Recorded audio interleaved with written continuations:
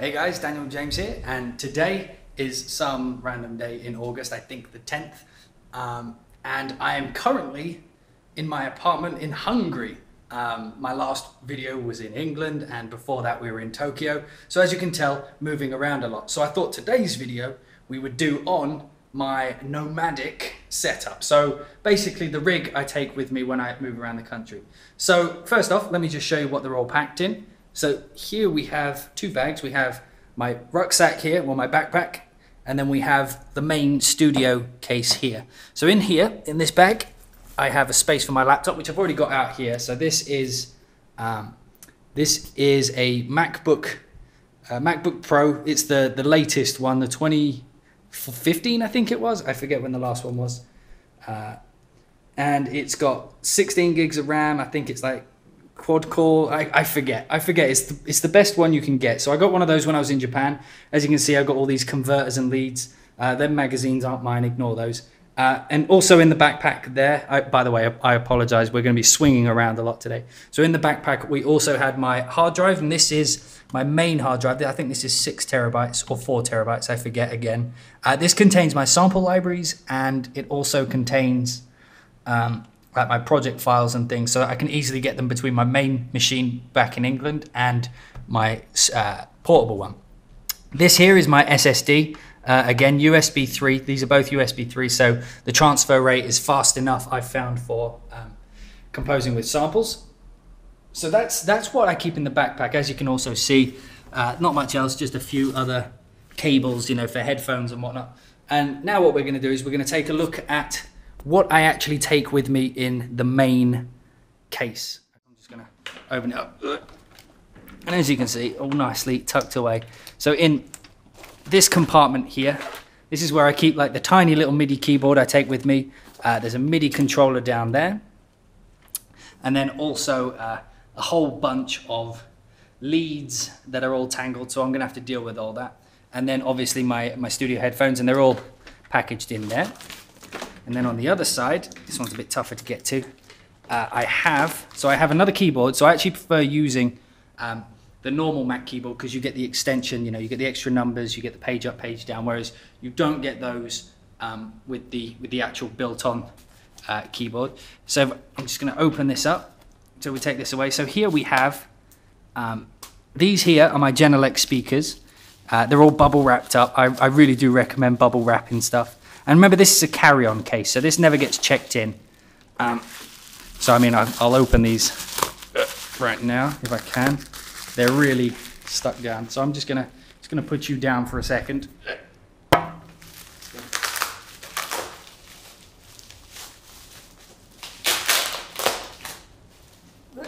Okay.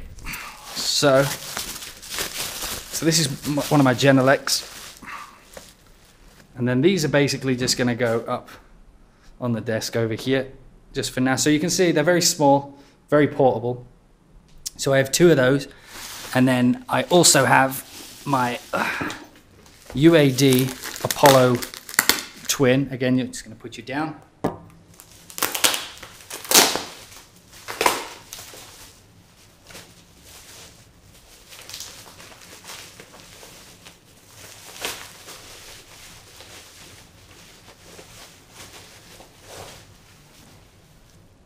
And there we have the uh, and there we have the Apollo Twin, and then this has uh, this connects via Thunderbolt. So as you can see, we've got uh, we have USB, and then we have two Thunderbolt slots on this, and then on the other side we have uh, HDMI, USB, and this is for SD card. So this is what I'll be plugging this GoPro footage into. So what I normally do is I normally have um, an, a USB extension cable uh, USB USB extender, and what I do with that is, uh, you know, like it's, it's a port, so I, I, have to make sure it's powered. That's what I run, like the mouse, I run the keyboard, and I run any extra bits, like an iLok, for example, off of those. I think the iLok is here, so I got this thing's worth thousands. Um, anyway, don't know why I said it like that, but uh, so then, yeah. So in the USB hub, I have like all the extra bits, like the iLok, uh, you know, the the ex- like hard drives which aren't I'm, I'm not streaming off. And then what I what I have is I use the other USBs for the uh, for the hard drive, so I can use the USB direct uh, to stream them. And I tend to find that, I, like so far at least, like in the project I just did, uh, the big movie project I did that I can't tell you about yet, but I will. Um, I did it all on this rig here, and it worked fine. I very rarely, only when I got in the really really big projects, and on the on that film there was only one, maybe two cues out of 46, I think it was, that actually got that dense. Um, that was the only time when that happened. When you know when when it started to chug down, and even then, all I did was freeze some um, freeze some tracks, and you know, and it was good as new.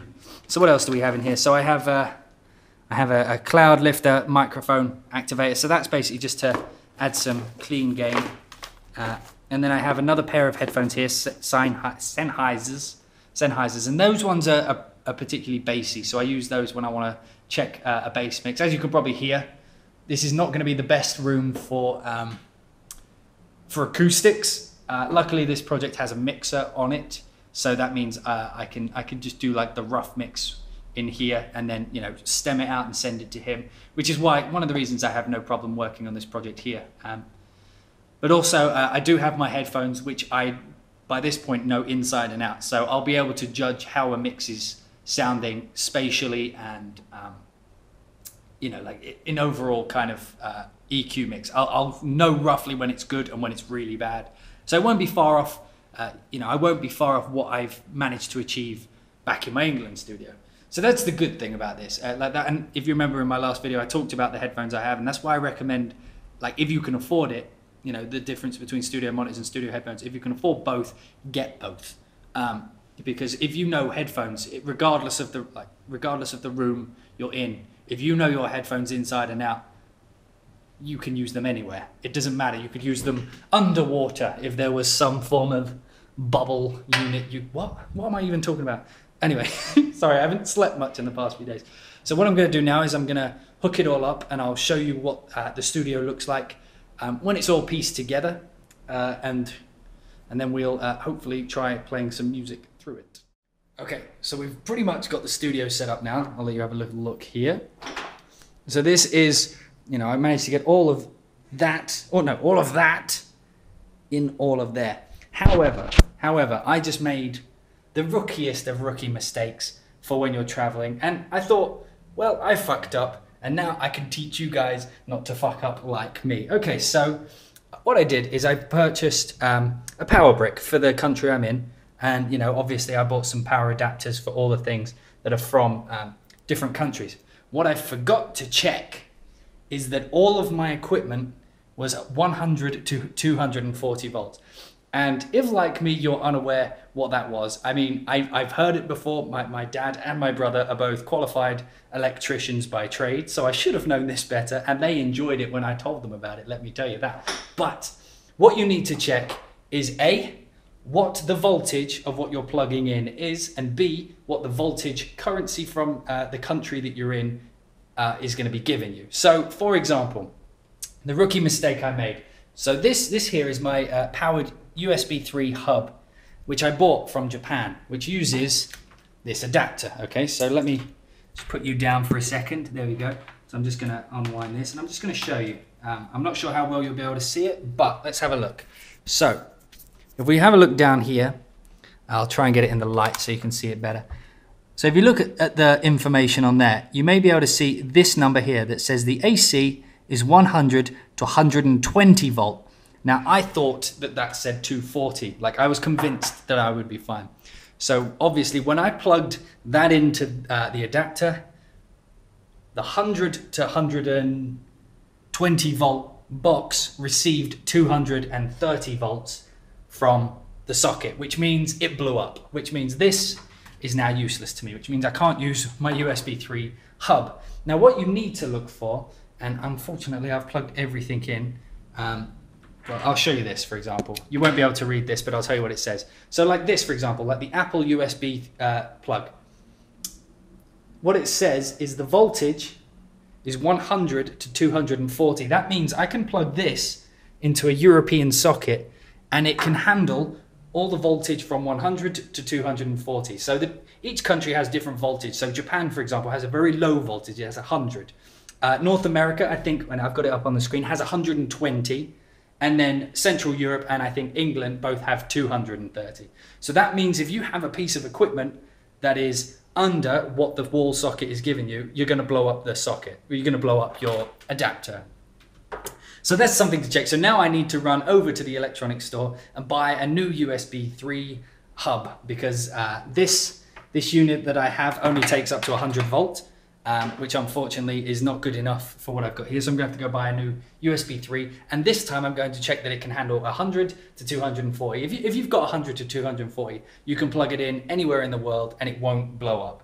Um, something worth uh, mentioning, I think, in the vlog. But everything else, so so for example, the Apollo Twin was 100 to 240. These were 100 to 240. Uh, USB just goes through the system, but the Mac is um, the Mac can handle handle 100 to uh, 240. So it, everything except my USB 3 hub, which I thought I'd read works uh, up to 240.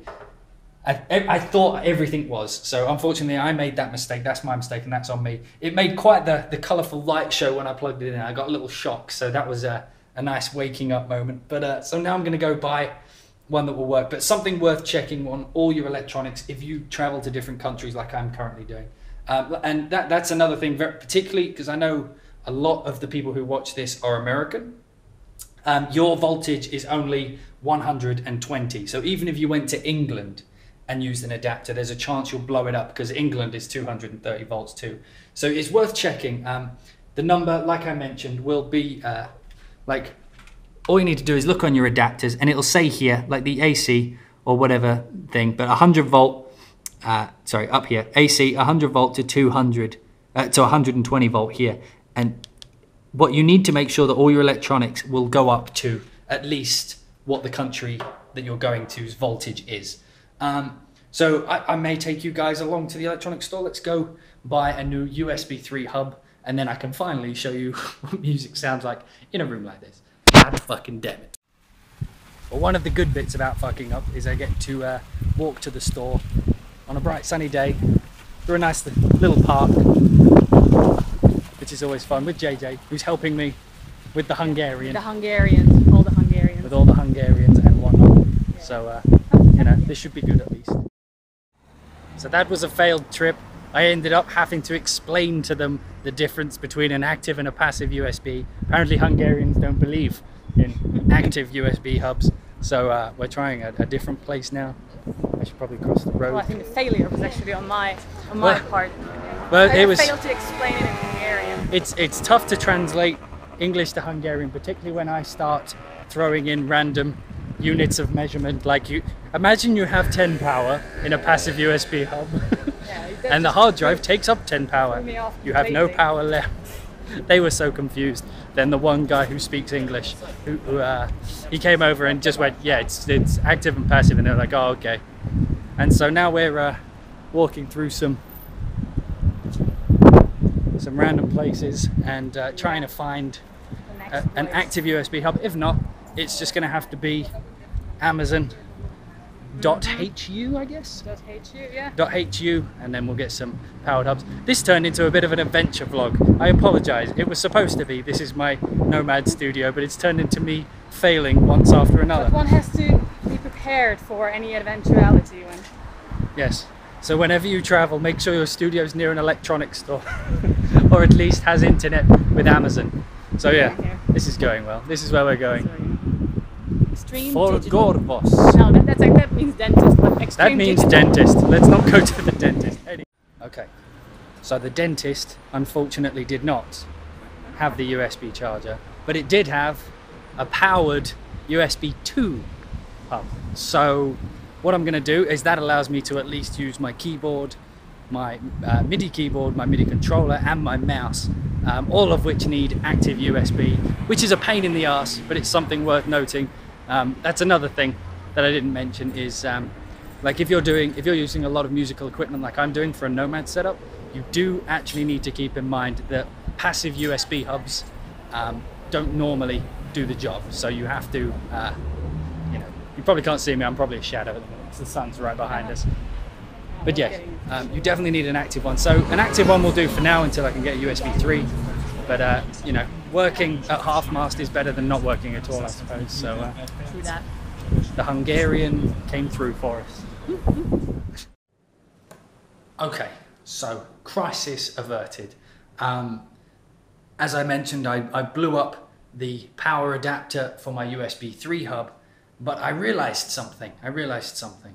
Well, let me get through the story. So I went out um, to basically replace it, you know, go out and find a replacement USB 3 hub that would um, allow me to uh, basically plug in the mouse, the keyboard, uh, and these. Because what tends to happen is when I plug uh, when I plug these, particularly these and the mouse in, um, they actually draw a lot of power. So already by this point, a passive USB struggles.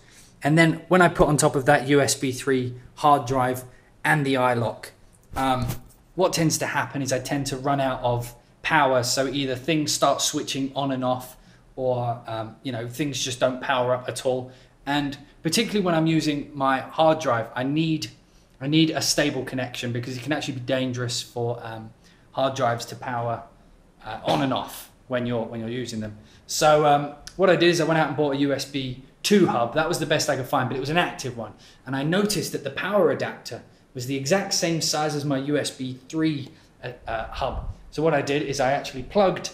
Uh, first, I checked the voltage on the uh, on the power brick. So this thing here, and unlike the one I got in Japan, it was actually 100 to 240 volts. So I thought, okay, it can go down to 100 volts, which is what this USB 3 hub needs to power it. So I plugged it in, and lo and behold, the USB 3, uh, the actual hub didn't blow up when I plugged in uh, when I plugged it in. Just the power adapter did. So now I have my USB 3 hub working again, and I have a power adapter which will adapt, uh, which will be able to power it regardless of country. And I also now have a spare USB 2 hub should I need some extra. Um, some extra ports. So now I have 4, 5, 6, 7, 8, 9, 10, 11, 12, 13, 14, I have 15 USB hubs and four of them are USB 3 powered.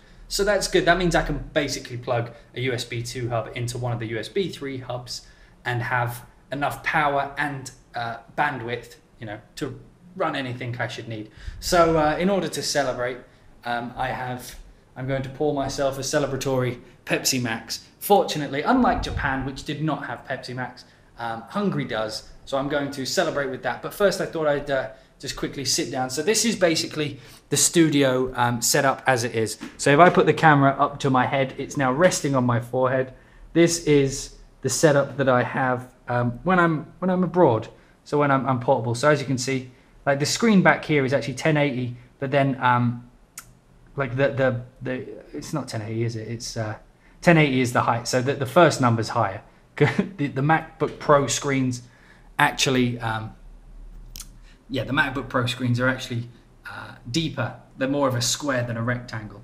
So uh, you have like the, whereas 1080p is like a rectangle, now you have the extra space. I forget because um, you don't actually get to set the actual numbers on this one, so I don't know what the numbers specifically are.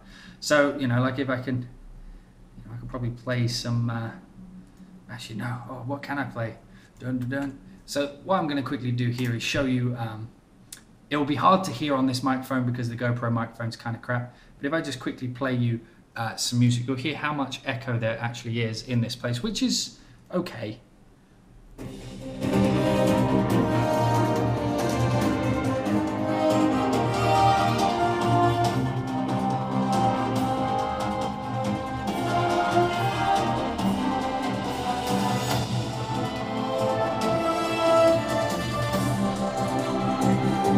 So already, already I'm hearing that there's um, a lot of uh, mid and low mid uh, being thrown around the room.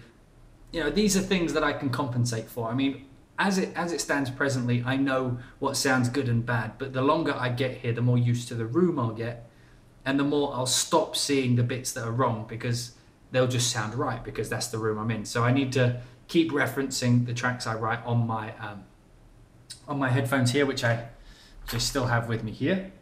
So that's all good. But now I have a workable setup. It means that I can, um, you know, when I'm when I'm good and ready, which should be right now, I can get back to work and actually start, um, you know finishing off some of these tracks that I uh, have been putting off for a while. Well, I haven't been putting them off. You know, I've been traveling and, and whatnot. So all these good things. Um, in the next video, I plan to uh, actually answer more of your questions and such. I did see that some of you were sending questions through Twitter, so I will make a point of, um, you know, when I'm when I'm on my next video, when I get another another little bit of downtime, I will make sure to check them. So cool, like everything's working fine. You can see I got.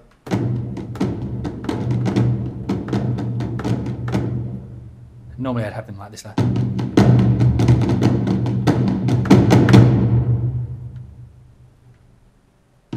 Okay, glorious. Uh, so thank you guys for watching this random nomadic uh, video today. Just before we go, to summarize, I will explain um, everything that we have. So, you know, we showed the two bags that I put my entire studio in. These are what go with me everywhere. Um, I've discovered that I need to get a kilogram out of this because you're only supposed to have 10 kilograms on a plane, and this is 11 currently with what it has in it. So I need to put more in this bag, which is lighter. Um, and it's also tricky to get away with having two bags. But with me in those two bags, I carry a MacBook Pro.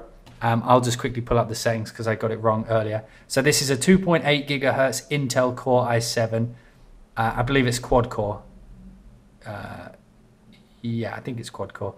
Uh, 16 gigabytes of memory, DDR3, uh, and it's got a AMD Radeon R9 M370X 2048 megabits, so a 2 gigabyte graphics card. So that's good if I was powering another monitor. Normally, what I do is if I'm staying somewhere for a longer period of time, I'll actually buy a HD monitor and plug into that um, with the HDMI. So I have two screens, but I'm only here for three weeks uh, currently, and then I'm moving over to Los Angeles in September. So you know, like it's not important for now. So anyway, in in the bags, so in the laptop bag, uh, sorry, in the backpack, I hold this, uh, the the laptop. I hold all the USB connections over here.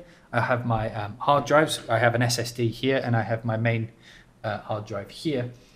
And I also have my headphones in the backpack. And in the suitcase, so in the large, uh, the, the carry-on case, we have two Genelec uh, 8010s. We have an Apollo Twin, a Keystation, M Audio key station 32.